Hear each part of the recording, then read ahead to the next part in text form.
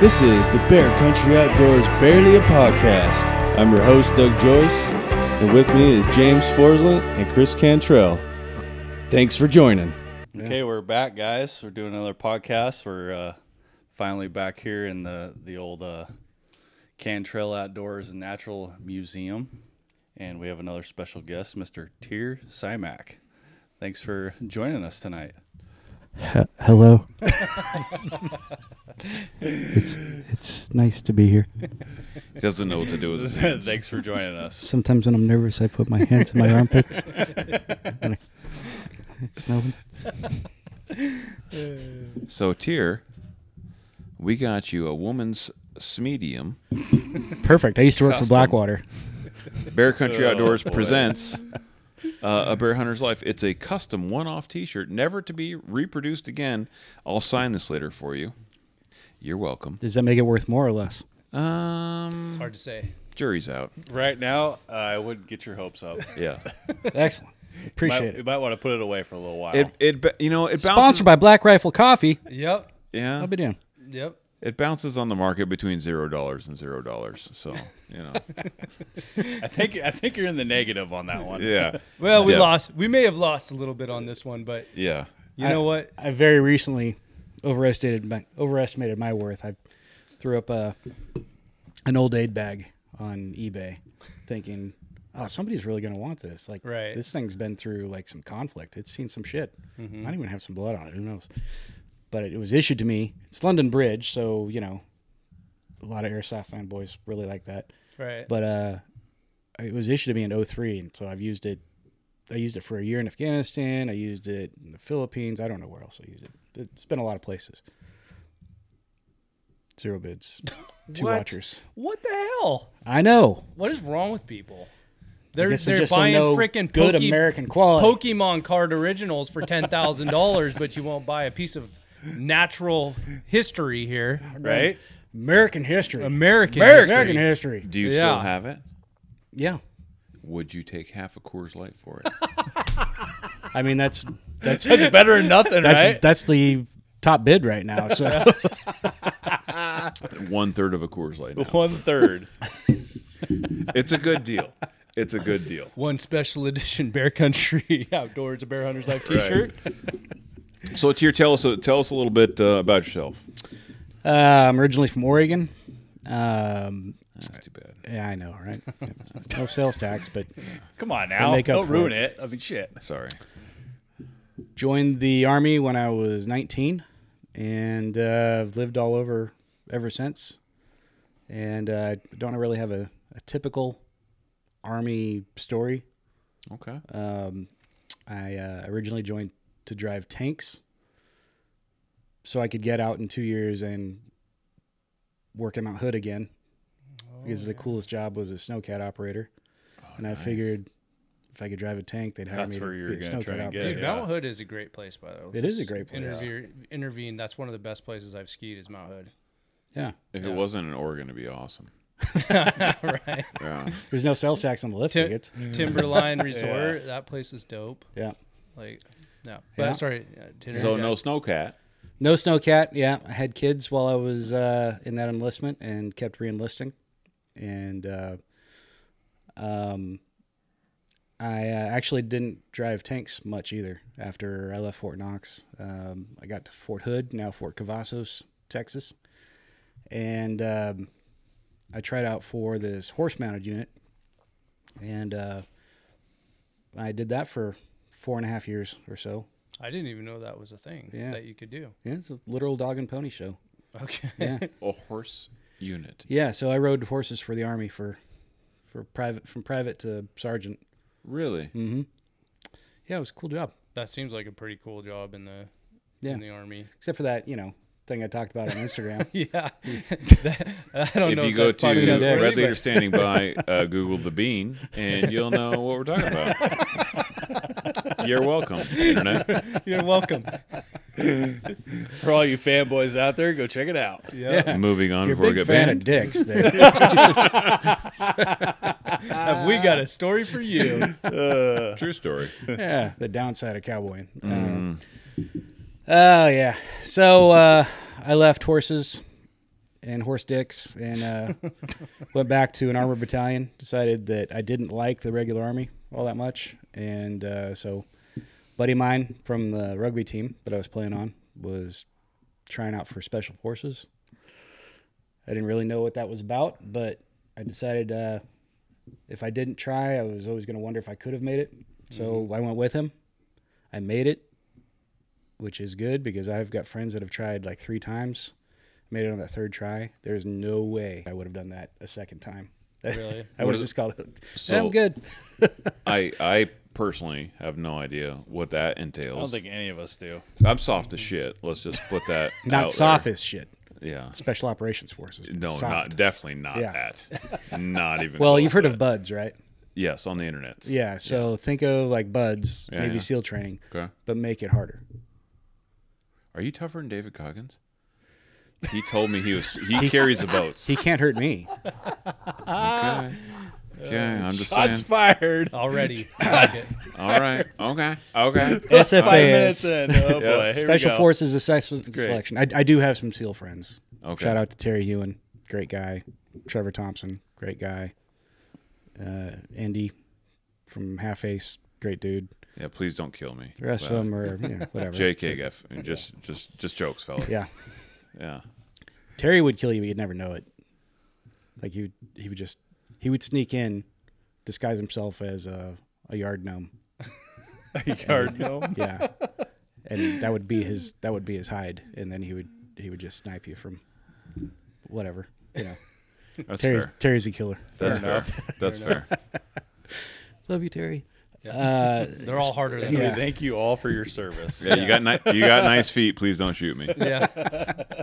We're on the same team, guys. SFAS uh, Special Forces Assessment Selection is is three weeks long, and uh, it um, you start off with just a standard Army physical fitness test. Nothing hard about that. Even with that, in my class, there was three people that quit at the PT test because it started raining. Really. Yeah, Because of rain. Yeah, it was cold. It was cold and wet during our PT test, and three three candidates decided they didn't like that, So they weren't They, from- mu- they must be from where it's desert. Yeah, not Washington. or Definitely Oregon, not Washington. Sure. Yeah. 'cause, yeah. Yeah, It's always wet. You was ain't like, gonna yeah, make it up whatever. here. I can tell you that. It's raining six months out of the year. Oh yeah, I used to hitchhike to to the mountain every day yeah. from Gresham. So it was, you start off in rain and end up in snow. Um, I'd rather deal with snow, to be honest with you. well, yeah, me absolutely. That, that's what I knew I was. I mean, that was that was kind of the break, right? Yeah, when you're good. Yeah. I'm out of the rain. Now it's Yeah. snow. Yeah. I got a funny story about that, but let's put a pin tell. in that. Yeah. So uh, you do your PT test and, and a swim test, and there's people that don't pass the swim test as well. A swim test is just swimming 50 meters in full uniform and boots, Huh. uh, which honestly is not that easy because No. boots No. were not That made sounds to be hard. swum in. Yeah. Yeah. Swam, swamming, Swam. swimming, Swam. Swam. I think technically it's swam. I, I, I would say swimmins. swimmings. oh boy. But to consult the Goggins on that one. Yeah. That's Yeah. Goggins. This Yeah. episode is brought to you by Coors Light. Cruise that. We're still uh, waiting for that sponsorship, by the way. yeah, right? It's uh, it's the silver bullet, which as a medic means something completely different. Right? Yeah, 100%. Um, yeah. So you do that. You do the regular stuff. You do the swim test, and then uh, you go out to Camp McCall. And uh, the first week is a lot of, um, it, it's a lot of. There's a lot of like IQ tests, personality tests, things like that. But with that, you're also doing uh, individual events, like uh, individual timed runs, and you don't know how long these are. So if you, you know, if you were a cross country runner or something like that, and you know what your 5K time is versus a 10K time, you've got no way to pace yourself because you have no idea if you're doing a two mile run or a 10 mile run. So they just say start running and then Mm-hmm. you just stop when they tell you to stop. Yeah, You're shitting me. yeah. What a bunch of dicks. That's a terrible thing. Isn't it? No, it's great. Yeah. Yeah, Yeah. Yeah. re- Superb. remind me not to do that tomorrow. Yeah. Yeah. So there's really no way to pace yourself. It's a big mind game. Uh, Huh. You don't have a name. You have a number. Um, What was your number? two five five. Son of a bitch. This guy's sharp. Yeah. that's a Well, good there's there's some things that I'm trying. There's a lot of things you don't forget. Yes. Okay. That's probably one of them. yeah. Well, two five five. Tell me more. Oh, boy. Um, once you get through, and there's also land nav in selection, uh, and sometimes this is in selection, sometimes we put it in the Q course, but um, there's de- there is definitely land nav in in selection, and uh, it's when you find out that people you can't use a flashlight other, for anything more than checking your map, and it's most of it is at night. So you find out who's afraid of the dark, oh yeah. and there's a lot of dudes that are afraid Oh, of the yeah. dark. really? Yeah, Yeah. That shocks me. Yeah. I feel like as a man, you Really, shouldn't. Jim? Don't don't look at me like that when you? you Are say you- that. I'm looking at Kris like, are you afraid of the dark? Gee. No, I just literally I at my I walk out at my old age. Yeah. I Without a flashlight. yeah, like f- probably 43 I could not see in the dark anymore with my eyes. Hmm. Just like I swore I used to be Batman and I could see in the dark. That's you your saw his nickname. neck. yeah. True story. True story. And then next thing you know, here I am. 44 can't see shit. Oh, yeah. love it. Yeah. I, I think just that's just. readers. I think that's just age. Oh, dude, I, hey, you, if you need some, I got some two O's in here. You need some? I'm looking for those transition lenses. like Are the ya? progressives? Yeah, yeah. See those? I'm always packing. See when I when I wear these, I look like I like to wear them down I a look little like the bit. chief. Like I'm like I do the same thing. Yeah. I'm. T- we should do. tired of going to the commissioner for you. You're gonna need your gun and your badge. I hate to do it. I hate to do it. We're totally doing karate in the garage later. Yep. yeah. Same. Same. So once Yeah. you get past those individual events, you go to the real ball buster, which is Team Week. team Week. You can guess how long that lasts.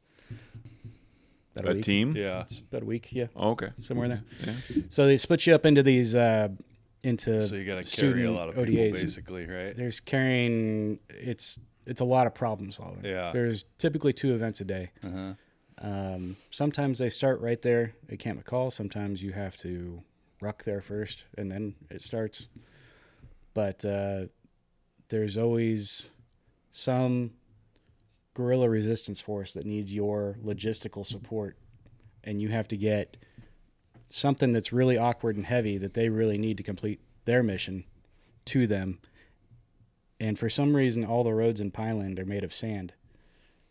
You mm, think that that would have been one of the first things I would have done is I would have petitioned the State Department for infrastructure. Like we need runways and we need paved roads everywhere. But in Pineland, that's a fictional country that we're we're helping Right. out. I was gonna say it's the like, last well, where 40 years. Yeah, it's like where where 50 have we, years. where have we been fighting for the last, last you know, 50 for the la- years. Yeah, Yeah. pure sand and desert. Yeah, It's true. Yeah, and we do have a habit of blowing up roads before we get there. and bridges and right? bridges, yeah. Yeah. Yeah. so, uh, yeah, you're being evaluated on uh, how well you can lead, how well you can follow, um, your problem solving abilities, how well you can integrate into a team under a lot of stress. Yeah. Because you're under not only physical stress, but you have a time standard that you're supposed to meet for these missions. And it's not just the cadre that are evaluating you. Uh, it's also your your peers that you're in selection with. We had, I think, three guys on my my team in team week that didn't make it because of peer evals. How big are the teams?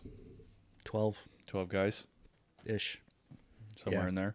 They Yeah. totally vote me off the island. Not on the downed airman. No, No, we need a monster like you in the downed airman drill. I don't know what that is, but yes, thank you. yes. Yeah. Hopefully that's that's not where I'll, we I'll clean take that as a compliment. Anybody that's watching this is SF's going, oh yeah, yeah, yeah. definitely. yeah. yeah, he is the downed airman. you are the brute squad. Yeah. so yeah, I got done with selection. I I uh, I got selected uh, that first go around, which surprised a lot of people, uh, not least of which me. Um, and uh, I I went to Fort Bragg, now Fort Liberty. Six months later. But I got out. Uh, when I say I didn't follow traditional army routes, I mean there's the horse thing, and then there's I decided to go to special forces, and then there's I decided to get out of the army after I was selected because I didn't. It was peacetime. I went to the selection in '99, and I didn't want to spend the rest of my career in North Carolina or Kentucky because I'm from the Northwest. Okay. I wanted to get back to mountains. Right. So, being brand new, they're not going to guarantee you Fort Lewis or Fort Carson. Mm-hmm. So the only way to guarantee that for myself was to get out and go to 19th Group in Buckley, Washington. So I did that, and uh, I did most of my career out of uh, out of Buckley or uh, or Fort Lewis, Nice. and that's been both awesome and terrible. When I say terrible, it's there's no there's no safety net for for the National Guard. So, uh, despite having all but five years of my, my career in in the National Guard, I have over 17 years of active federal service. So we've been really really busy. But between those orders, there's you know somebody that's active duty, they finish up a deployment, they come home, they're still getting a paycheck. Mm-hmm. I just came back from Iraq. As soon as my leave's up, I'm on leave right now. As soon as my leave's up, I don't have a paycheck from the army anymore. Granted, I've got a full time job, so I don't have to worry about it too much. But But yeah, yeah, if I didn't, if you didn't, yeah, you, Right. yeah, you'd be sweating bullets. Yeah. Literally.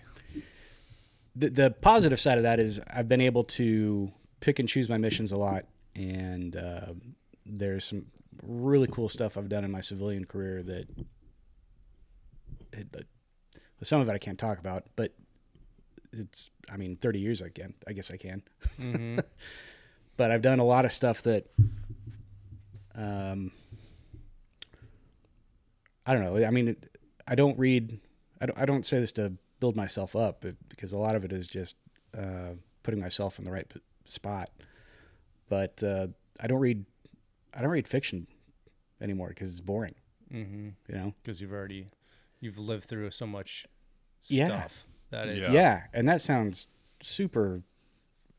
I don't know. Whatever. Conceited. Right. Something. But it, it's just the case. You've Like, done it. Yeah. So like I loved Tom Clancy books Mhm. when I went to the Q course. right. And uh, I was a voracious reader when I was in the Q course, and then you know I deployed to Afghanistan almost immediately after the Q course. I had a few months off. I was working as a bouncer in Seattle, and then I went to Afghanistan for a year, and uh, I did a lot of stuff in that year. I mean, that was 2003, so it was still pretty early, Yeah. Mm-hmm. and uh, it was just, and, and I've, I didn't really stop until 2010. Um, I was just bam, bam, bam, bam, bam, which is not recommended, by the way. That's Right. that's how you lose families. That's how you uh, start to let your, your mental health go and, and everything else. Um, but that's that's what I was doing. I was chasing that dragon. And uh, the first time I really stopped to take a knee was in 2010 when I started teaching ROTC at University of Washington. wow. Yeah. So I did that for a couple years, and then I went back to the Back to the shit. back to the shit, as Yeah. they say. yeah. And why'd you go back? Sequestration, actually. Really? Yeah. Yeah. The, what's really fun about uh, Congress is that when they start bickering and talking about shutting the government down because they can't agree on something, uh, they still get paid. Mm-hmm. Anybody else that's getting a federal paycheck is Hmm. So write your representative and say you would like the rules changed for when the government shuts down, they don't get paid either. And maybe they'll stop doing it. Yeah, Mm-hmm. I agree. I'd be a big fan of that. Yeah. Yeah. Hundred I think that's that's totally fair. Yeah. I I- mean, if you think about it, in any other workforce in the Yeah, United when States, stuff gets shut down when down. you don't move and you're not doing your job and you're not taking one's care of your paid. responsibilities, you're not getting paid. Yeah. Yeah. It's just that simple. And I don't know why we have put them on a pedestal that they get to live by their own set of rules, but I think that's fair. I think Tyr just came up with a new theory that everyone in America is probably thinking. Yeah. It makes sense to me. Vote Yeah. here for governor. No, don't do that. I'll, you know, all, all kinds of shit would come out. I could do that. Uh, I mean, Dude. there needs to be a lot of shit changed in the state. I'm I- about I'd be there, all for Oh, it. As I I'd previously put you there in front of Bob Ferguson any oh, day. yeah. Oh, yeah. of the week, I'll tell you that. What a sideshow Bob. Yeah, of course. Right. Yeah. Uh, Don't get Kris started on this. I'm Yeah. holding back so bad. know right you now. are. You have no idea. I was listening to uh, to Biden's uh, speech from uh, Normandy on the way up here, just getting mad, and then I started Oh, thinking Yeah. about when I was in the army with Semi Bird, and thinking, nope, I would never make it. I'd get past like one primary, and they'd Google one thing, like, "Hey, did you?" I'm like, "Yeah, yeah, yeah, that was me. I know. We we were having that conversation. I'll see myself out." Well, they're always digging up some sort of dirt on somebody all the time, and if you don't have a squeaky clean record on Well, the- everything, I don't think it's a squeaky clean record. I think it's like to be to be fair, not to talk To poorly about our sitting president, but I think he's a sack of shit. um, and I feel like he has no idea that he's a sack of shit. He's just so like he doesn't have an day- idea about anything. yeah, he doesn't So, he doesn't know. Well, didn't he shit his pants over What, there? what day? What when? day? How many Every times day? in a day? So Well, that's and that's key because if it, Willie Blazer, owner of Willie's Distillery, Yeah. told me when we were in the Q course, yeah. very important information. He said you can shit your pants twice a year before you lose cool points. Two, twice Two a times a year? year? Twice a year. Wow, I didn't even know you had. Two I got times. some points I thought it was one then because. I am so cool right There's now. There's no rollover. There's no rollover. there's cool no points. rollover. oh, You get two annual. okay. That's it. They're- Yeah. Otherwise, I'd have them stacked up. All right. I was gonna say, dang it, I didn't know that. I didn't know what he was talking about. I was like, I, I would think you would lose it after one. He's like, no, no, Right? it's just Yeah. He'd done a lot more. He came from Ranger Battalion. Then he was a hot shot firefighter, and then Oh. he decided to be a Green Beret. Oh, jeez. Yeah, so he's that guy. He'd had plenty of opportunities to shit his pants, whereas, you know, I, I didn't really. I Can you we- imagine? I mean, I was riding horses through the army. If you shit your pants riding a horse, it's- Oh, you're dude. just sitting in it. That you don't really want No, to. dude. no, We've pissed ourselves before. It's Texas. It's hot. You know. it's air conditioning yeah. for your legs. We do that almost every podcast, so yeah, Yeah, it's, not, it's not a big deal. If you ain't cool. It's just yeah. Yeah, Willie and I went to Afghanistan together right after that. Right after we we graduated, roughly the same time, and uh, ended up on the same deployment. And I lived off the local economy, eating Afghan food, and I I learned really quick. Yeah, there's you need at least two. Really, Yeah, you need you need two. I could imagine. shout out to uh, Willie's Distillery. Shout out to Willie's Distillery. Yeah, Yeah, and it's Montana.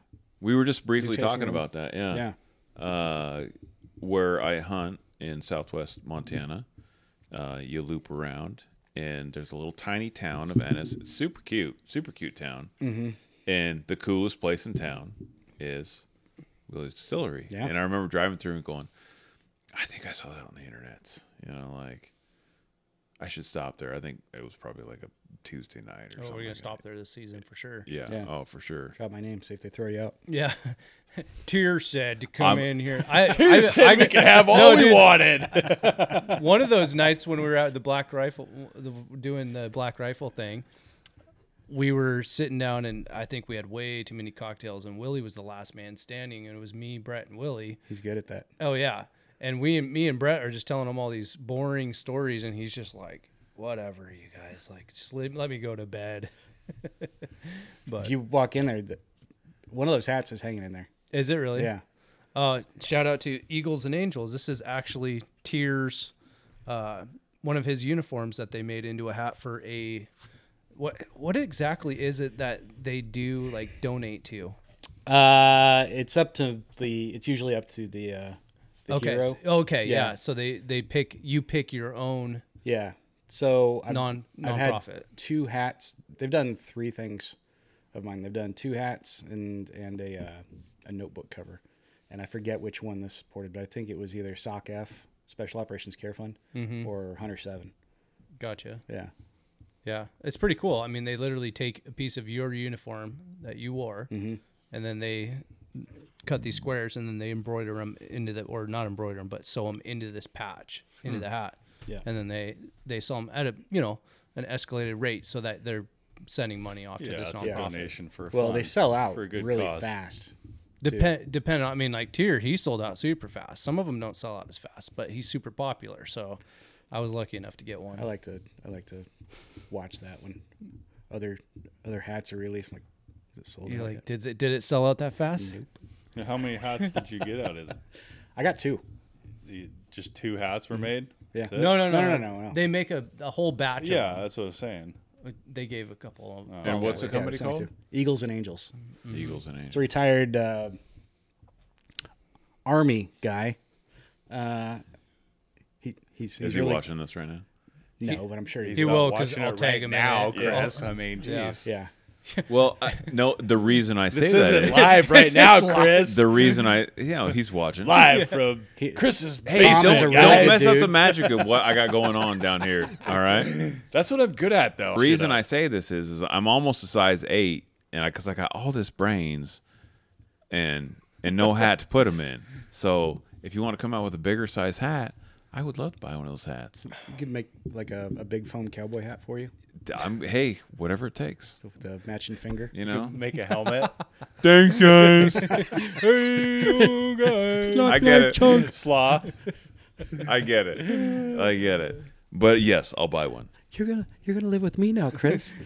That's one of my favorite memes, by the way, is when they put it and they're like, "You're gonna come live with me now." Why does everyone send me that meme? By the way, everyone sends I that send to it me. to you every time. Everyone. Uh, it's yeah. so I'm sorry. I'm working on it. It's fun. Yeah, it's fun. Having fun. It's we're having fun. So, what exactly are you doing right this second? So you're not Drinking these beers. You're drinking- at the table. Outside of So just us being I, here. I just came back from um, an active duty stint. I was over in Iraq on uh, Operation Inherent Resolve with uh, USASOC, um, Army Special Operations Command, doing some sergeant majoring. Uh, I, w- I was not hunting down bad guys or doing anything cool because my rank uh, means that I answer emails and make sure that uh, everything men, women, people, equipment, beans, bullets, all that's accounted for. He's lying. He's doing way cooler stuff than that. He's totally lying. What, which would you rather be doing, though? To be honest, If I'm going to be downrange, yeah. I would I would rather have that You'd rather be in the that field. challenge. Yeah, Yeah. absolutely. Okay. Yeah. Anybody, any feel- SF guy that says, "Oh no, I I I, I love being a sergeant major," I don't. I it's don't- full of shit. Yeah, I don't know if like in any kind of like situation or job would you want to be the guy that's in the office. Yeah. I, know. There's a lot of guys that don't have a warrior's heart, dude. That don't want to like take the risk. well, it's, that's true. That's true. but uh, you need those guys too. Mm-hmm. Honestly, um, you can't you can't turn everybody into a warrior. You can't turn everybody into a leader. If, if somebody wants to be support, and some support are some badass warriors too. Yeah. I've had that too. But if somebody wants to be support and they want to excel in that, more power Yeah. to you. Yeah, I I don't want to do that job Yeah. you know mm-hmm. and for every gunfighter it takes about three people in I was gonna say some you need those support effort. people. You Yeah. need the support people Yeah. to do your job. yeah the the people that are a pain in the ass are the the gunslingers that uh, are either afraid or you know have kind of tiny heart syndrome or or the support guys that had the opportunity to go out and really support the mission but are too busy talking up their attachment to special operations or something like that. You know those those that's that's the pain in the ass. And there's a third kind of pain in the ass, which I'm guilty of, which is the guys that don't know uh, when they're broken or when to quit. And that can hurt the mission too. Really? Yeah, oh yeah, yeah, yeah.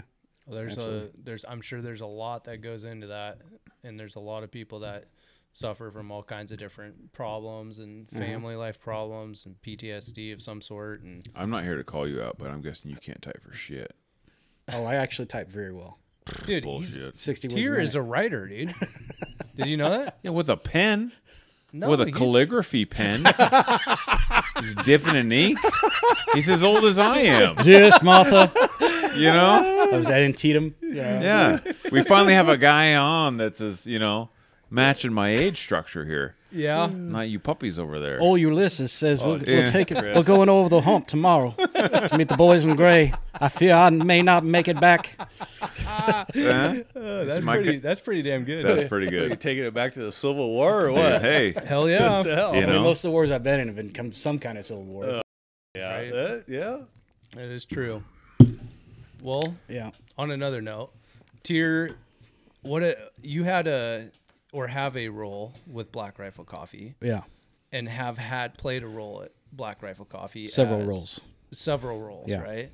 Currently, you're in like a So I'm in philanthropy, uh, and specifically what I handle is special operations and conservation. So special operations, there are a myriad of nonprofits uh, that have been established since 9/11, um, and uh, a lot of them focus on special operations. So it's kind of my job to figure out which ones we're going to uh, put some put some weight behind mm-hmm. um, in terms of financial support or even coffee. The hardest thing is like getting a, a body somewhere, right. uh, any any kind of physical presence. If there's a physical presence, it honestly, it, a lot of times it's me historically, but not always. Like we just cut a check to uh, Special Forces Foundation. Um, and it was for sixty thousand. And the reason we did that specifically is because that's what they requested to fund uh, a mental health app that that is on the App Store now. That's Um, awesome. Yeah. So if you're a Green Beret and you're seeing this Special Forces Foundation, just put that in search bar, hit that, and uh, it's all anonymous, which is why a lot of SOF guys don't seek any kind of mental health support is because Right. they don't want to hurt their clearance, yada yada. Commands say, "Oh, we'll back you up," but it a lot of it is lip service. Right. Yeah. So, so we we helped that, uh, but in the presentation we did that at the uh, in Dallas two weeks ago at the PBR Kid Rock and Rodeo, which was a lot of fun. That's Mm-hmm. cool. Yeah, it was a lot of fun. Kid Rock came out in a It was the Tesla. the, the tr- Tesla the truck. What? Yeah, it was a General Yeah. Lee Tesla truck. And who was it? It was Jelly Roll and um, Bo, Bo Duke. Duke. Bo, the Really? original Bo. Duke was Yeah. driving it. Yeah. What? yeah, That sounds awesome. That sounds Yeah. super it was a awesome. cyber truck that had the the the General Lee Yeah. theme going on. Yeah. on it. Yeah. Dude, that sounds awesome. Yeah. it, it was pretty cool. yeah, uh, but we uh, yeah we presented that there, and uh, you know Matt was there, and and Clint Trial. Uh, Clint's an awesome dude. So is Matt. But they uh, they got up there to present the check, Nice. which was pretty awesome because the more we can amplify um, the organization, you know, the better. Mm-hmm. In, in my book. Well, yeah, because it's, it's not just a check, you know. I mean, it is, but at the same time, like you guys are bringing light to that cause. Yeah. And the more people that see that and wanted to help donate, or like, oh, that's great, we can we can also donate. Yeah. Is it's even better. Yep. Yeah, the uh, executive director and I, uh, you know that the thing I was talking about with the team week, we were that's where we met. We were on the same selection team in team week. Hmm. That's awesome. Yeah, yeah, and he's a retired SF sergeant major now because he's smart. I'm still plugging away for some reason. So how long how long do you think you're gonna are you gonna do this until you you can't do it anymore? I think that's where I'm at now, honestly. Uh, yeah. yeah, I'll. If everything goes right with my paperwork, I should be out this time next year, Okay. com- completely done. Yeah, And that will be the retirement of Tyr yeah. Of at least being in the service. It, yeah, it gets to a point. Until another civil war breaks out. Right. That's what I tell we them, need like, Tyr. We need yeah, you. they're, they're gonna pick up the red phone. Get me Tyr. yeah. Yeah. The back alley surgeon is My needed. God. These dicks are dirty. Get me Tyr. son. Someone needs to clean these horses. Someone needs to clean these horse dicks. There's only one man. I love how we could joke about it. It's great. Yeah, so as long as, you know, nothing gets stupid with North Korea or Russia or China Oh, or gosh, Iran. yeah. Who knows? Yeah. We'll see after November. Oh, yeah. Yeah, election years are weird. Election years are weird. I was in um, I was in Al Asad. I had uh, I was doing this job as a civilian special forces medic. I was an analyst uh, based out of Al Asad. I was attached to a combat support hospital, and my job was to collect atmospheric information. That doesn't mean like weather. I was It's going to just say, like what does that mean? It's a good question. Just It sounds out- like a fucking outside- government just- job to Yeah. me. Is that just outside information, basically? Is what nebulous. you're trying to say? Yeah, basically, I, You're touching buttholes no, jeez. for sure. I I mean that's part of what I do as an 18 Delta. yeah, Yeah, for sure. but yeah. uh, I touched very few buttholes. Okay. trip. Yeah.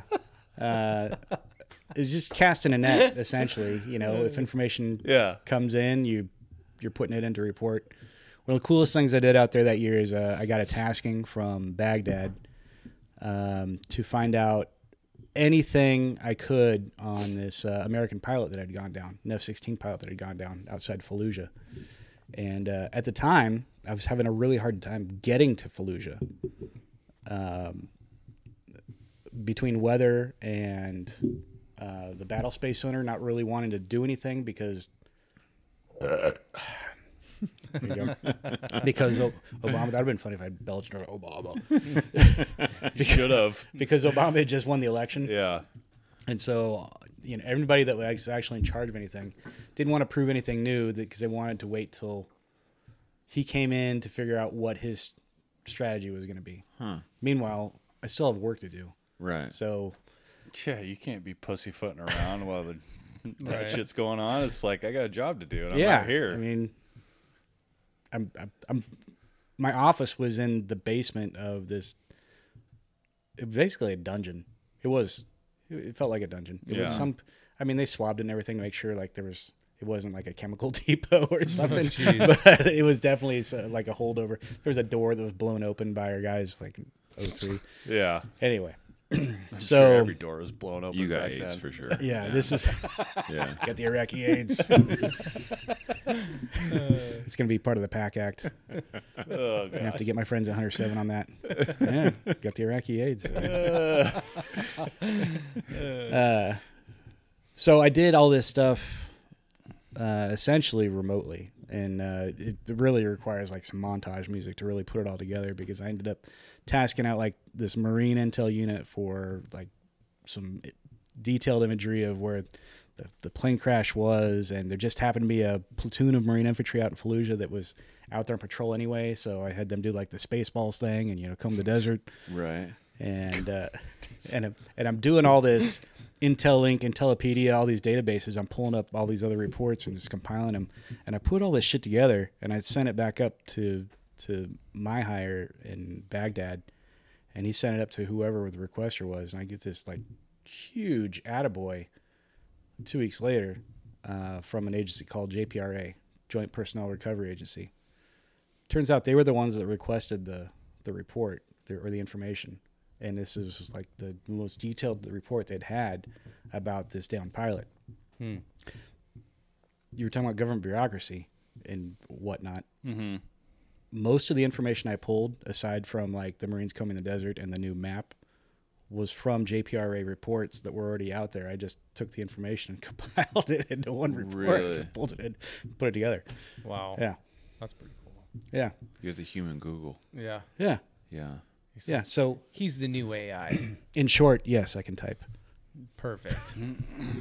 That is I retract my previous Took a whole bunch of jumble of information and put it into one giant thing. I apologize to all those burly tattooed men who took offense to my typing comment. They're, they're pushing up their glasses right now. Please, yeah. They- I have readers in my pocket. They're now. They, 2.0. they can't hear you. They're too busy typing Yeah. angry letters. I'm on my way to kill you right now. They're on Facebook. I hope we have a lot of comments on this one. Yeah. Please, hmm. please don't kill me. I have yard work to do tomorrow. How tall are you? Six four. They did you know they stack shit that high? I did. I've seen it. Yeah. Yeah. Yeah. I'm uh, surprisingly, I'm I was 285. I'm down to 278 ish right now. Most of it's metal, the rest of it's fat. But uh, you know, I'm doing my best. I don't even count six pounds. Yeah. No. No, not really. Not unless it's super consistent. Just because I feel like I, I feel like I fluctuate that much between a, a good turd and a good hike up a hill. Yeah. That's very. That's That's fair. that's a No, very that's fair. factual statement. Yeah. Yeah. Like I feel like I can swing ten pounds pretty easy. Yeah. That's why they say don't weigh yourself in the afternoon. Yeah. Weigh yourself in the morning. Oh, I'm 300 pounds in the afternoon. I'm not doing that. I wouldn't know because there's no scale next to my couch. Yeah, Yeah, yeah, yeah, the scale Between is the your couch worst- and the like, pe- scale is your worst enemy. Yeah. Let's just put it that way. yeah, yeah. you don't want those around. Well, let's talk a little bit about uh, some of the current event stuff that we need to talk about. Oh uh, boy. Kris just went down to Olympia for a special meeting. This is about Spring Bear. Uh, this is com- It something. has com- something to do with it. it kind of ties, does. Ties it, in it a all little ties bit. in. right? Okay. Um, tell us about that, Kris. So uh, we have some we have some friends at Sportsmen's Alliance who uh, have been fighting on our behalf. They have two new hired attorneys, which are super nice guys. Got to meet them, and we went down to uh, the Supreme Court hearing. It was a it wasn't like at the main like you know that you see in the pictures like I, I think I posted like some- the White House looking yeah court building. yeah it was like it was being remodeled or some shit I don't know No, it wasn't and- at the Capitol building. no, so we went in this like Was it like some portable next door or what? no, it was it was like it was a fair. I mean, it was like 20, 30 minutes away. So I drive to it was I don't even remember where it was at, but we go to this building, nice looking building. You go in and we're in this tiny little room, and there was like thirty people in there total. And this is this, this is Supreme Court. Supreme Court. Yeah. There's one that's like Simpson style on a TV screen, phoning in, and then there's like eight other judges sitting here, and I'm sitting there and I'm watching. And I remember, so I walk in a couple minutes late, big shocker, and uh, I and a, a guy like scans me, and uh, I put my wallet back in my pocket, and he opens the door, and I walk in, and it's just like that's it. That's like the whole room right there. Everyone's like, and they look, and I'm like, oh shit. So I'm standing there, sweating, and I'm like, okay, what do I do now? There's like eight chairs, they're all full. And so I sit behind the Simpsons person that's on the TV screen. No, I saw you on on the TV screen. Yeah. I was like, "What the hell is Kris doing? He's sitting right behind the person who's talking to one of yeah. the lawyers." Oh no, that was that was the second case. Oh, so the first case was like uh, all of the um, municipals' sewage systems pump their shit into Puget Sound. Oh, so that that was one of the Supreme. That was the Supreme what Court was that hearing. like two years ago? It's still going on, Oh my gosh! and they're like uh, they're denying permits and like we can't pump our shit. I don't know what's going on. Anyways, long story short, there was a lot of people in there for that, and then a bunch of people leave. The judges leave. Everyone comes back. The judges come back, and then some people come back. Not as many people. And so I sit down, and I'm talking to with our attorney before, and then the, uh, Bob Ferguson's cronies over here with uh, Lorna Smith, which is Yeah, we all know about that. yeah. And uh, I won't get into that. And so I sit down and I'm listening, and it's like it's very clear and cut because this case have been has been gone through and it and decided right. Right. Like This we, cl- is- this is It's an very appeal close. case. yeah. right? So Bob Appealed Ferguson, from Bob Ferguson Bob Ferguson himself. himself appealed this case to piss away uh, the taxpayers' money. That's you guys. Congratulations. Thanks for paying for this for no reason because Bob Ferguson's a great human being. and then Sportsmen's Alliance is like, hey, we'll do it anyways. Let's go back and keep fighting. We've already won once. So they uh, they send the uh, Bob Ferguson crony at first, and he's like, "Hey, let's talk about these words." And they want to like, it'd be like if I went in and said, "Hey, Tyr the sky is blue," and you'd be like, "Well, Kris, actually, what is the sky?" Let's talk about that word, the sky. Let's talk about buttered sausage. Let's talk about buttered sausage.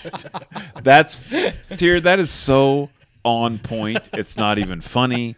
That's exactly Gary Busey could be in there arguing these cases. It'd be the same exact thing. It's so freaking stupid. It's so dumb. It's the most like, if Why am I here? I'm sitting there and I'm like starting to sweat. I'm so irritated at the the the idiocracy that happens in these cases. And and literally they sat there and argued for like a half an hour over what words mean. What words mean? Yeah. Yeah. As if it's not like written out and pretty much clear to I'm, everybody. they're I mean, citing like black and white. I so mean, which which case are we talking about? so Pretend I've been in Iraq for a year.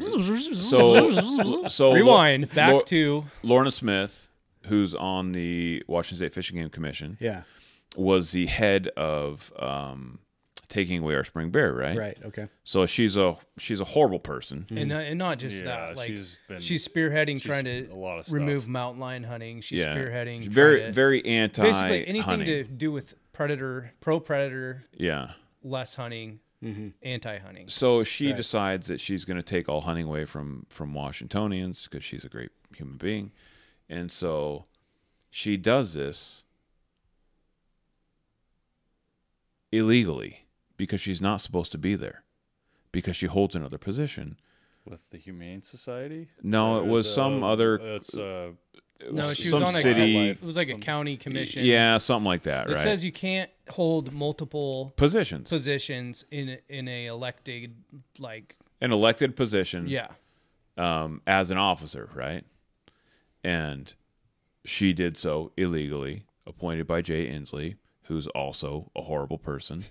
and um, we were just like, "Hey, you did this illegally. Like, like, hey, give us our spring beer back, or get rid of her, or do whatever, right? You did a bad thing. You got caught.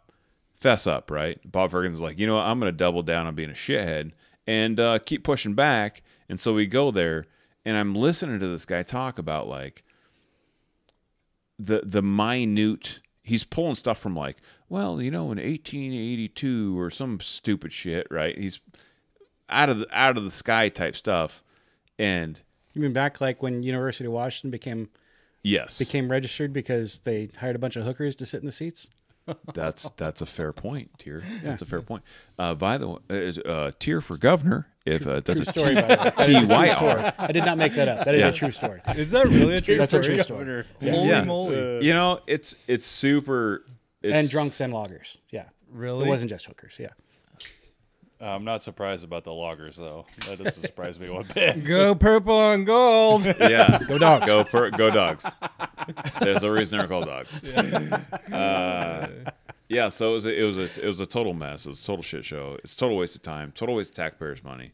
Like a ridiculous waste of money. and and us too because we we're fighting this bullshit. yeah, we're paying for it You too. know?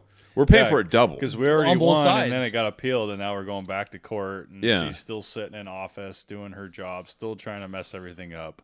It's just Mm-hmm. a total shit show, and we're still fighting it. and Yep. it's if I was so looking at looking at it from the Sportsmen's Alliance side of things, like you have to you talk about like the bureaucracy you have to deal with and the politics and how ridiculous it is. And I'm looking at it going, this company, Sportsmen's Alliance, has to pay to fly out here, have their attorneys. We have to fight this this this ridiculous appeal. Like it's so ridiculous. It makes no sense. It's so black. But legally, already. they get to do it, and Bob Ferguson knows, like, hey, we're going to piss away some more of the Sportsmen's Alliance money, Mm-hmm. and you know, f them because he's a horrible, horrible person, and just decides that, like, hey, you know, if we just keep chipping away at these hunters, we're going to get them because Mm-hmm. they're going to run out of money eventually. And guess what? I'll just keep working more, and I'll keep making more money. I'll keep donating more money, and I'm coming for Bob Ferguson because I hate that guy. He is such he's such a bad person for Washington. He's a horrible person for Washington, and they don't. Then they don't. let- They like it's. You look, not to get off topic, but you look at like all of the the predator attacks on people right now. Uh, there was a fatality in California, and uh, you know black bear and cougar, and you Google it across the United States, and people are dying left and right and getting attacked left and right. And then you have people like Lorna and Bob Ferguson. They're like, you know what we should do? We should bring in more predators, and we should not hunt them, and we should stop everything. And they're it's just too, like yeah. it's it's absolutely now we're introducing grizzly bears. it's mind boggling. I like to look at it from the glass half full perspective in that this is the only way that's gonna that, that urban sprawl is really gonna stop and uh, you know people that aren't afraid to carry a gun with them probably will be okay but if Yeah. if you're relying completely on tolerance in Disney movies or bear spray, you Oh, yeah. which doesn't always work. yeah. you- right yeah you mean you mean hot sauce So what Tyr is saying is this is like uh, survival of the fittest. Yeah. Uh, that's a that's a Yeah, good point. they're- And really it's only getting worse because it's not just eugenics. up in you know the wilderness. Like you're hearing all these stories down like in rural areas. yeah, like not too long ago, I had a guy come in and gave us a class, and he was talking about he lived locally in Kirkland. And he said that there's big cats roaming around all over the place, wreaking havoc. Yeah. The other side of that, though, is I mean, like BC is dealing with this in that uh, I, I was just watching whatever it is the British thing is that they do when they stand on either side and they kind of yell at each other. I- Right. Yeah. So yeah, I, by the way, I love that. And, and probably went like Trudeau, and it's like, well, the other side says this, and then Trudeau stands up and he's like, well, my mom said, yeah, My dad, Castro. I mean, uh, yeah, yes, yes.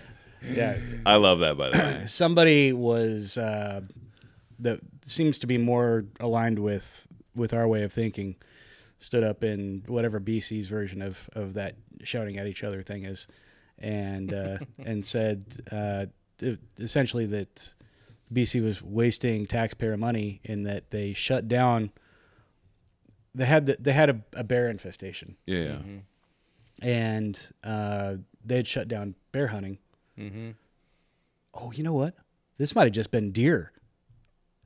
It's it's an animal, It's some an kind of animal, Deer some attacks. kind of large game we're getting there. infestation. Yeah, We're gonna walk either- them rounds it's either right. bear or in there. deer. I don't know. Google it. It's it's there. Google Canadians shouting at each other in British Columbia. I'm Well, I know they they shut down grizzly bear hunting. South Park is gonna pop up. yeah, it's Yeah, like, for hey guy, I'm not your guy, buddy.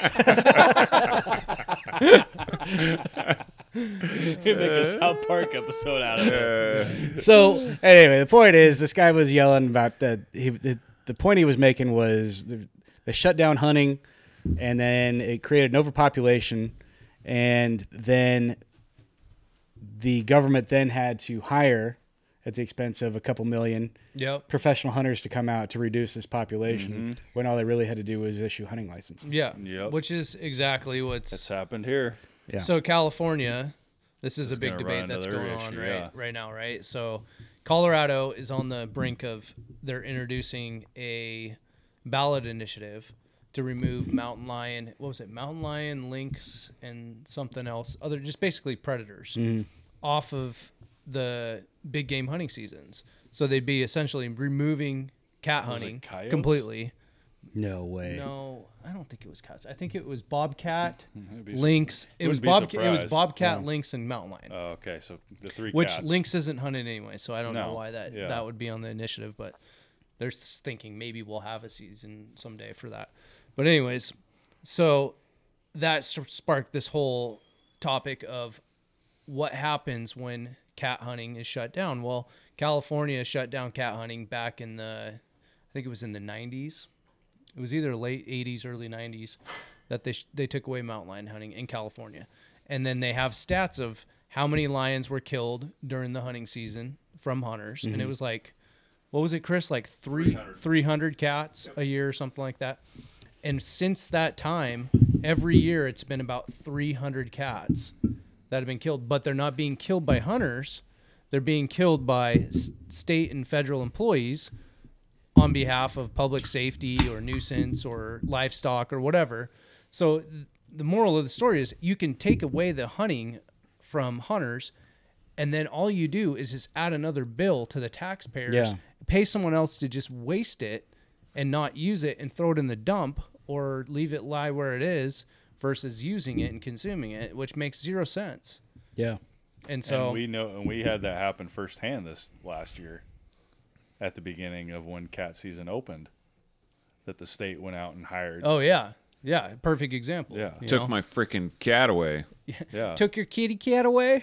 there was at least three of them Yep. Yeah. that were taken away. Well, I mean, it, it happens so much. Like if you uh, watch the the cougar, uh, what is that? It's like the cougar confrontation Yeah, yeah. site or whatever for Washington. Yeah. It's daily, right? Yeah. There's Yeah. there's either a lethal removal or uh, some sort of like self defense or something that happens almost every or a day. cougar Yeah. runs in your backyard and tries to kill your dog. Yeah. Oh, that happened there. at Fort Bragg recently, but That the happened cougar in was uh, Monroe. Chechen.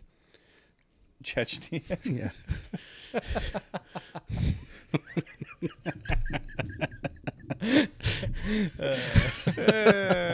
Oh, there you go. Yeah, that jokes. This is good. This is good. We're gonna keep going. gonna be and we're gonna keep going.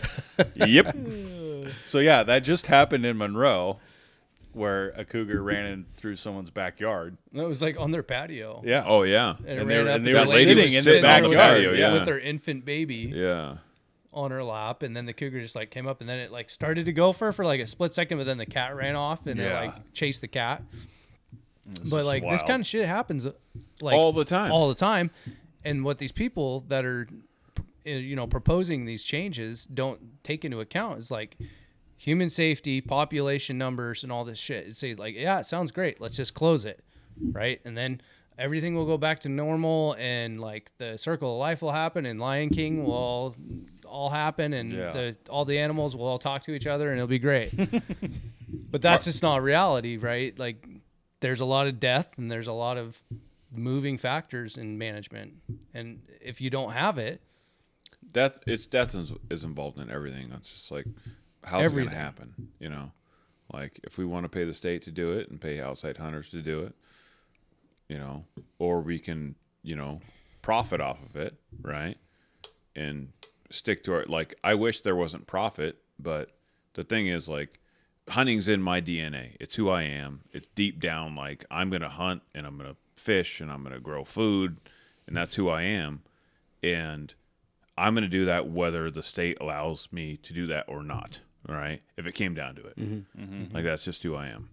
And I'll pay for it legally. Mm-hmm. Or if we hit the Civil War part or whatever we're going to do, I don't know what's going to happen. This but should I- be a fun one. You know, I, I feel like, I really do feel like us as hunters, right? I think all of us sitting here, right, have that like hunter DNA in us. Mm-hmm. And if you take that away, number one, how are we gonna how are we gonna get our food? And number two, now you have all this unregulated predator population and ungulate population, and and they'll work its way out for a little bit for sure, right? But then it's going to end up like the biologist that James and I just talked to out on the island, uh, out of the San Juan Islands, and a deer population became so robust on an island that they got a disease and the entire population died off. Mm-hmm. So we can wait till disease gets them. yeah, Yeah. And he just attributed that to the- the population got too high. Yeah. the numbers were too high. They were too close together. There was it was just bound to And then they happen. It's and just they too much incest, probably. and it's A lot and of it's it's a horrible Yeah. horrible thing, right? Like it's either it's either starvation because they eat all the food, mm-hmm. right? Or some sort of disease, which I don't know. Like I'm not a big fan of disease. It probably hurts a little bit, you know, when you die from it. I would think, you know, but maybe maybe PETA thinks otherwise. I don't know. You know, maybe I don't it's think a good PETA does a lot of thinking. Period. So. Oh, they're the smartest people on the planet. Just look at their YouTube page. You know, like they're the best. Save the animals. Yeah. What- How's that going? Sad music inserted here. I'm just saying. No, too much. Uh, okay.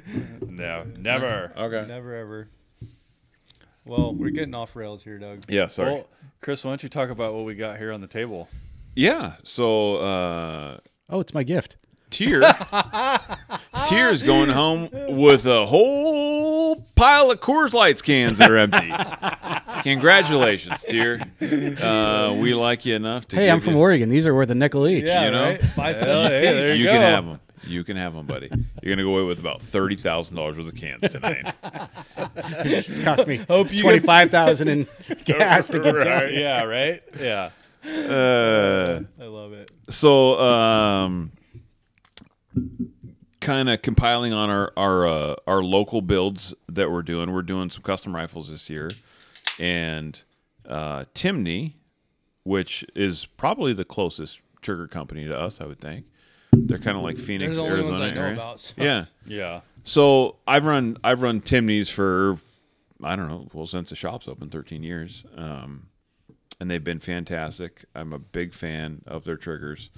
Uh, we put them in all of our, um, you know, our our AR builds. we put them in our like our SWAT sniper builds. We put them in our long range rifle builds. I mean every there's really and, and to, to back that up a little bit, we've tried a bunch of other companies, like, and I'm not going to name these companies, and they're not bad, but we've had issues, and failures with those companies. And the only failure I've ever had with the Timney is when I went to go smash a pin through a receiver and literally like smash a trigger because I didn't line it up appropriately after a night of too many uh, sody pops. So, uh, big fan, big big fan of Timney, and they sent us um, three different triggers. We have their uh, their 510 V2, which is a version two of their 510. We have their hit trigger, and then we also have their brand new Remington 700 trigger, which actually comes in the new Remington 700s, which is a massive upgrade. hundred So percent. I'm seeing the difference between uh, both those say Remington 700 on it, the 510 V2 and the Impact 700. What's what's the difference? So the like the V2. So if we were like if we were rating them right, so like this is the fancy one. Like this is your Ferrari. The right? hit.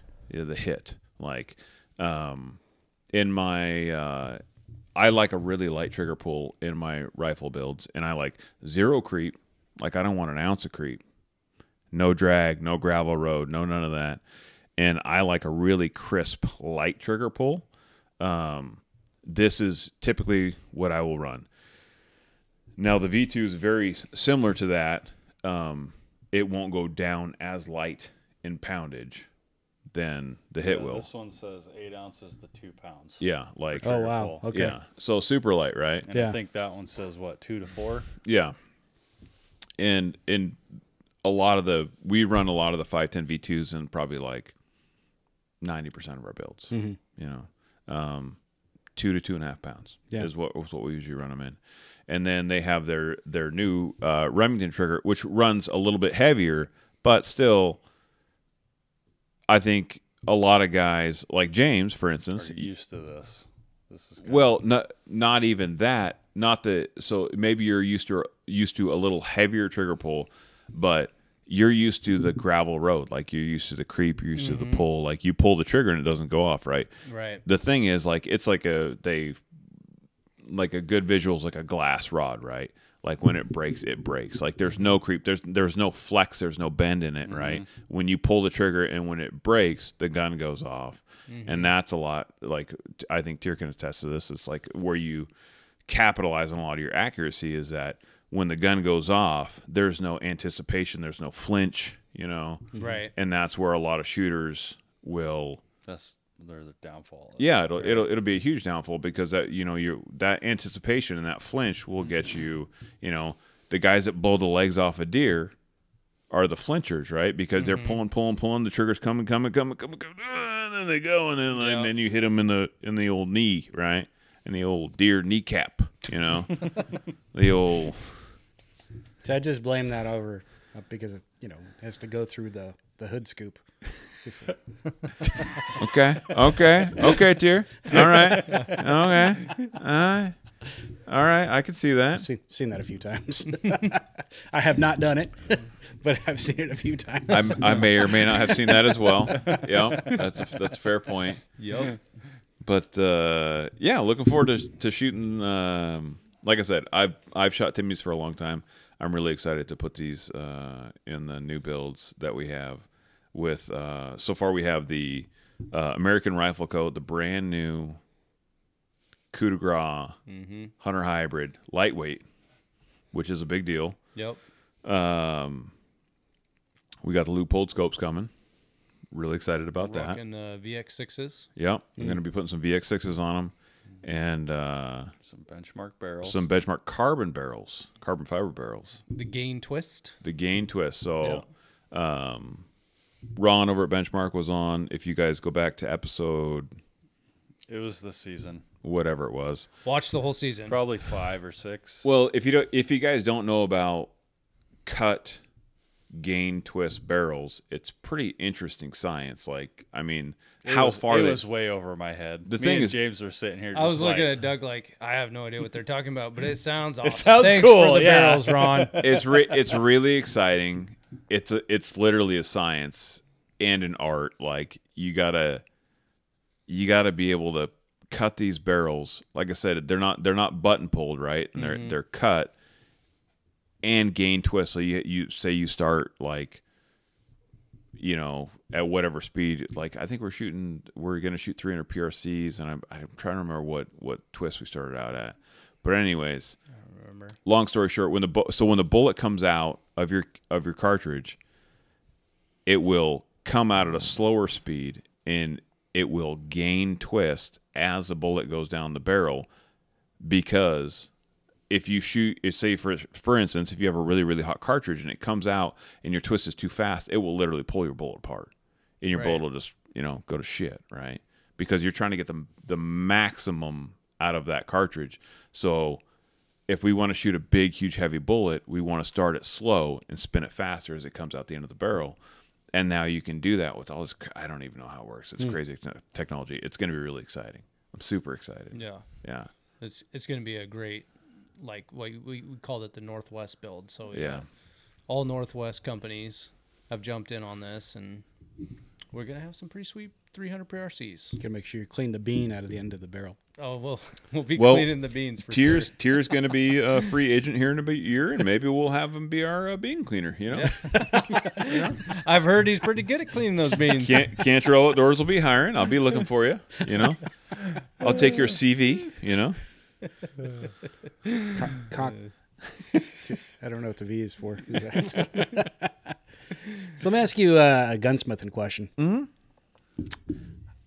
Years and years ago, I was going through uh, this uh, uh, urban warfare course, and I was at a I was an indoor facility in uh, Ogden, Utah, and they had a pro shop there, and I picked up this. Everything I just told you is irrelevant to the story. Uh, I like the I like the I Yeah, like the meat. you need to lead up into yeah, it, right? Yeah. maybe some spice. yeah, You and Kris tell stories the same. I love it. Well, it's- Yeah, There's, there's a lot of. winding. it better be thirty minutes. Dude. Yeah. It's a long road. And So- then go. I I don't forgot. know. I, I, don't forgot know what if, I I don't know if we got 30 minutes of time left. Lay it on me, Tyr's. so, so I bought this uh, this uh, Remington 700 300 Win Mag, Okay. Yeah. Great Uh, choice, by the way. Just stock off the shelf, Yeah. Yeah. and then it sat in a gun safe for years, years and years and years, and then you know, Classic. I bounced around the country a little bit. My guns were in Texas at my my parents' place. I was overseas. Uh, I came back. I went on this uh, this hunting trip, uh, this elk trip with uh, with Josh Smith and some some of the guys. Uh, this was two years ago, and the the three hundred mag was all I had in my house in terms of things to hunt with. So I went out there, and I'm on Josh's property uh, and trying to set this thing in because I'd never actually had any rounds through it. I've, I've had this thing for like 10, 12 years. Never had any rounds through it. Could not sight that thing in to save my life. Really. Yeah. And, uh, you know, I, I mentioned that my signature block used to say worst sniper at Black Rifle Coffee, Right. but I'm still, you know, Right. pretty, You're still a pretty ridiculous Yeah. shot. still a good, Yeah. Yeah. good shot. Yeah. Yeah. And uh, these guys are starting to lose some confidence in me. So I ended up buying like this Mossberg 6.5 uh, out of a local sporting goods store and, you know, redeemed myself because that thing was fine. Right. But this thing, I've, I've heard that post, like after Remington sold, Yeah. Yeah. the rifles kind of went to shit. So let me ask you this question: When you say you couldn't get it sighted in, like what type of group was it holding? No group. No group. Just all over the place. Like- all over the place. like like a like a twelve inch group at hundred yards. What are we talking? I would say at least 12. Like Okay. one shot, one shot would be on the paper, one would be great, and then the next shot would be like, where did it hit? It's gone. I don't think I hit anything that was point in, point impact. Really? Yeah. Hmm. I would. s- So typically, what happens is And the action on this thing sucks, by the way. It is. I don't know. It, it feels like a, a rifle. I. It feels like an artifact. Like I've I've shot Afghan right. Yeah. yeah. Mosin Nagants that had Yeah. better action than this. my my in my in my experience, typically, like if it holds a six inch group or tighter, it's a terrible rifle or terrible terrible ammo. Right. It- Could be either. And, and guns can be very picky. The ammo was great. right? It was not so. smart. So I've had, Yeah. I built. Um, so for instance, I had a guy from uh, North Side Metro SWAT. I built him a rifle. He shot. He goes, Kris, your gun shoots You'll like have shit. interest in this for sure. Yeah, and I'm like, oh no, what's because I built like four exact rifles all at once. Yeah. gave him a couple of them shot great. His shot terribly, and I go, well, geez, I don't know. Let well, let me take a look, right? Because like I always back all of my rifles, hundred percent. Like Yeah. it doesn't matter. He brings it back, and I'm like, God, I'm looking at it, I'm like, man, everything's tight, tolerance is tight, everything's perfect. Like we're talking like within one thou, right, at mm-hmm. least. And he goes, it's shooting a three inch group at 100 yards. I go, that's ridiculous. That's horrible. And then he switches ammo, and it shot a he shot a bunch of ammo, but he went from three inches to 0.17 inch group, just with ammo, right? Yeah. So that was a huge difference. But that's so that's from three inch to basically one hole. Right. Right.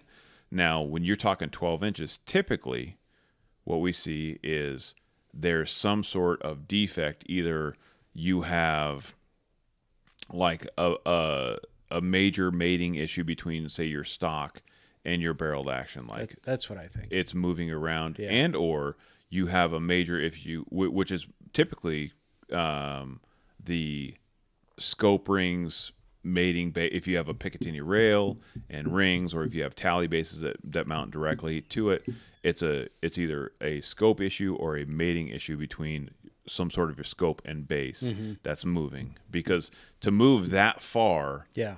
at 100 yards is catastrophic Yeah. i mean that's a lot I had 1954 Chicom AK that did that, but you know, that's just a That's that's, like shoot- trick shots. That's like shooting a shovel. yeah, You know. it's made for peasants. Yeah. Like Yeah, when people bring AKs in my into my shop, I hand them a shovel and go, "Here you go. I fixed it."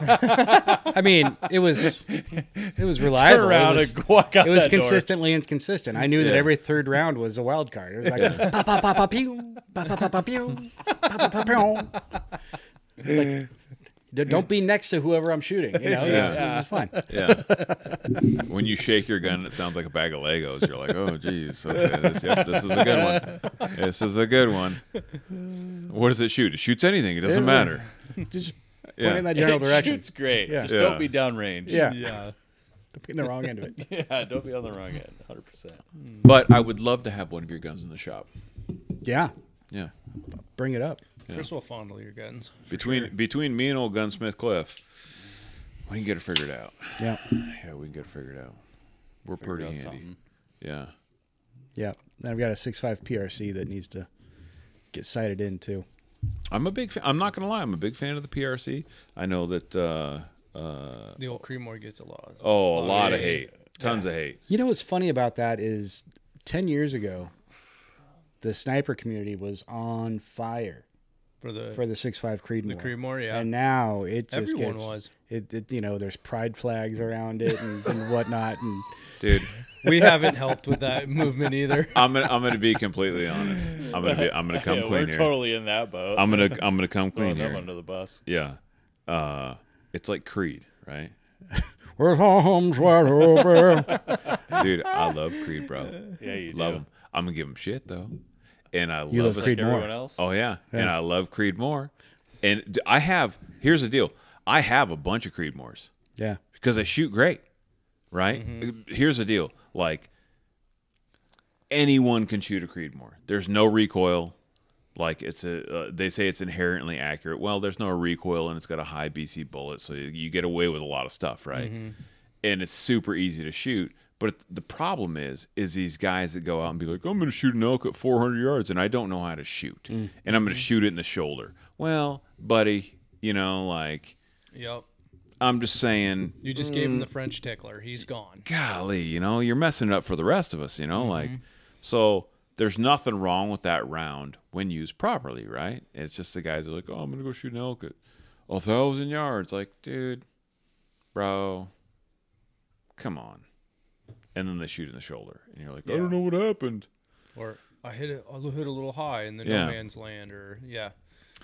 Where mean- a 300 ultra mag, you hit it and you hit it in the shoulder, or you hit it a little high, or you hit it a little low, or you hit it in the guts, or you It's hit going it right to wherever the it's, ground. it's down.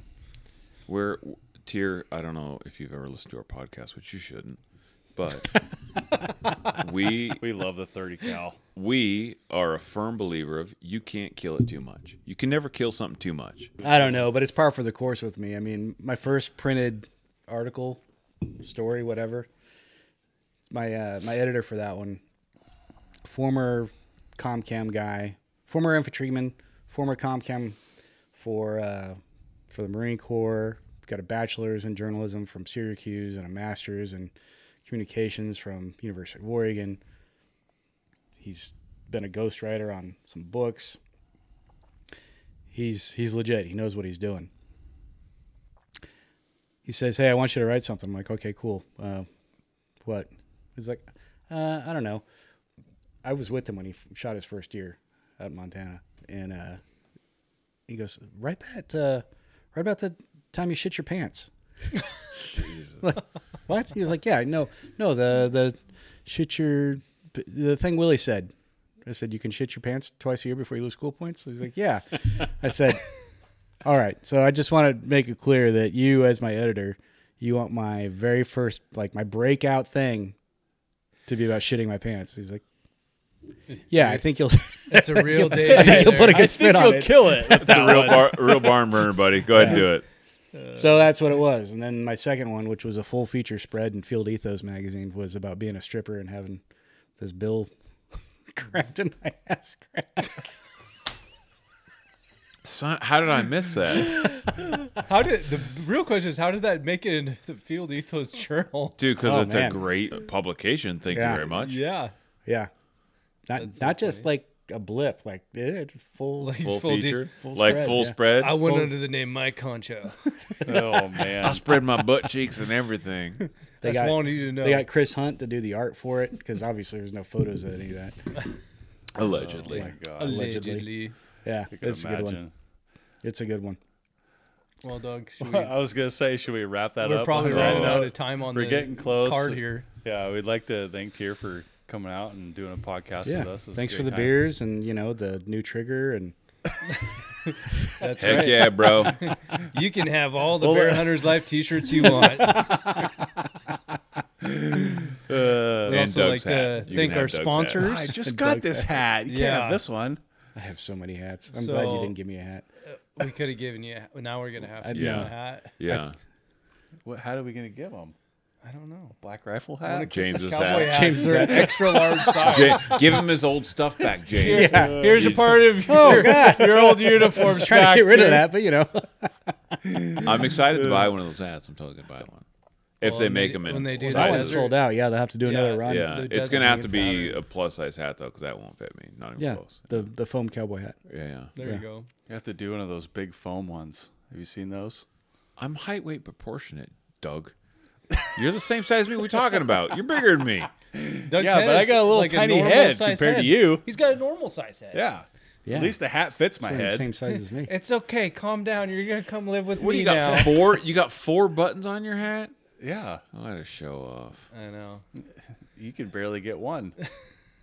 All right, let's He's- bring it. Let's he's got a bring it home. super glue his We're hat. taking shots I on know. the, Kris's head. I'm sorry. I size. got Yeah, a big. I got a big shots. head. Well, let's thank our sponsors once again. Caribou Gear. Caribou Gear, uh, Benchmark Barrels, Thank you so much. Leupold, Mm-hmm. Montana Knife Company. Uh, who else? What are we missing? Ollin? American Rifle Co. M- Oh, can't forget them. Yep, they just gave us those new actions. Uh, Ollin. They got some sweet stuff. And I think that's it. I think that's it. Yeah. Man, I hope that's it. Or This is gonna be a weird dubbing. I know it's going to be something real weird. We're hoping to bring old uh, Black. We should have, Coffee like, a- back, so we'll see. Oh, Like a yeah. we'll see how that goes. Wink, Yeah. wink. Wait. Where can they find you, Tyr? Oh, yeah, you know, Oh yeah. you can find me at uh, Red Leader Standing By uh, on Instagram, and you can read my stuff on Field Ethos Journal, and uh, occasionally Coffee or Die if that's still a thing. I actually don't know, but uh, don't know? definitely Field Ethos Journal. Is there anywhere else before I forget? no, that sounds good. That's Okay. just keep it Follow there. them on Instagram. Red Leader standing by. Yeah. It's it's quality content. It's a good laugh. Lots of lots of horse sticks. It's good. It's good stuff. It's good stuff. It's uh, it's very relatable. I really do think that because I chuckle every time I watch your post. That's so funny. He's a good guy. It's a good guy. Hey, he's a good guy. It's a good guy. Unless you're one of my exes. Yeah. so, you know. Uh, Hashtag me too. well, until next time, guys, stay humble and hunt hard.